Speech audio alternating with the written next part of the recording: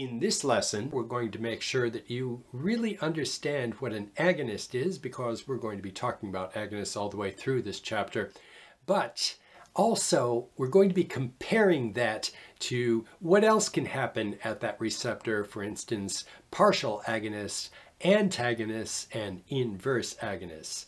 And as a really broad overview, medications can generally be considered agonists, where they bind to the receptor and then cause the same physiological response as the natural ligand, or they can be considered antagonists where they bind to the receptor, don't cause that physiological response, and just block that receptor and prevent the natural ligand from going onto that receptor.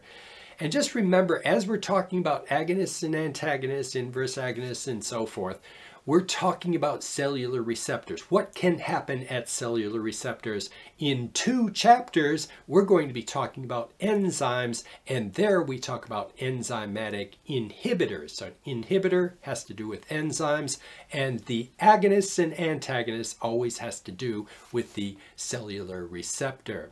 And let's take a closer look at what happens with our medications as they bind to a receptor. Using the simplest type of cellular receptor as an example, the ligand-gated uh, ion channel, recall that the ligand, the natural substance for which the receptor is made, can bind to the receptor because of its shape. But the shape is not the only factor involved in the binding. It's really has to do more with the molecular forces. Remember that there's various molecular forces like van der Waals forces, hydrogen bonding, ion bonding. All of those are most important in the binding and the conformational change that occurs in order for th other things to happen in that cell. In this example, the ligand-gated ion channel, this portion of the molecule pulls together, opening up a channel and allowing calcium or other ions from the outside of the cell to travel through the channel into the cell. A full agonist for that receptor is a substance that does exactly the same as the natural ligand, opening up that gate to 100% of its capability. Notice how in this case that strong ion bond was the thing that was responsible to pull the protein, to change the protein from its original structure to the new structure, and that resulted in the gate opening. What do you think would happen if a drug shaped the same way with the same molecular bonds was a little bit larger, maybe just too large to allow the gate to fully open. In that hypothetical case, the molecule would probably be a partial agonist. Partial agonists don't reach 100% of the effect that the natural ligand did, even if all of the receptors are bound. Now looking at the full agonist again, what do you think would happen if you had a drug that was shaped in the exact same way with the same attractant bonds in this corner, but you didn't have that strong ionic bond that allowed this portion of the protein to fold up the way that it did with a normal ligand? In that hypothetical case, the drug would probably be the opposite end of the spectrum. It would have no physiological effect on the receptor, and it would be termed an antagonist, or sometimes called a blocker.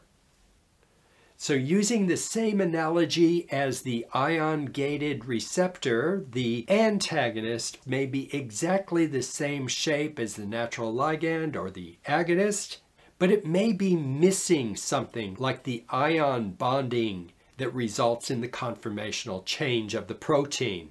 In this case, it binds to the same spot as the original ligand, but it doesn't open up the gate. That is a competitive antagonist.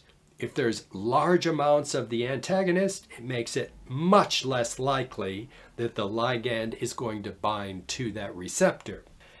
The final possibility I want to discuss is an inverse agonist, and this is a bit more complicated. If you want to simplistically remember what an inverse agonist is, it's basically an antagonist with a little bit of an extra benefit. But it'd be good to try to fully understand what an inverse agonist is. Normally, when a receptor is not bound, it is functionally silent. Nothing is happening at the receptor the protein is not causing those flow-on effects that you would normally expect if it was bound. Apply this to our ion channel receptor and when the receptor is not bound, the gate is fully closed. No ions are coming through that channel.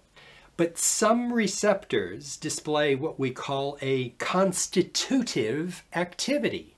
And that means that there's a little activity that occurs just because of the fact that the receptor protein is there on the cell surface. This constitutive activity doesn't occur at every receptor protein. And it doesn't normally occur at this type of receptor, but for simplicity's sake, let's continue using this receptor as the example. An inverse agonist inhibits that constitutive activity. So if you want to remember it simplistically, just think of the inverse agonist as being an antagonist with some extra benefits. There are some genetic disorders, however, that will only respond to the inverse agonist.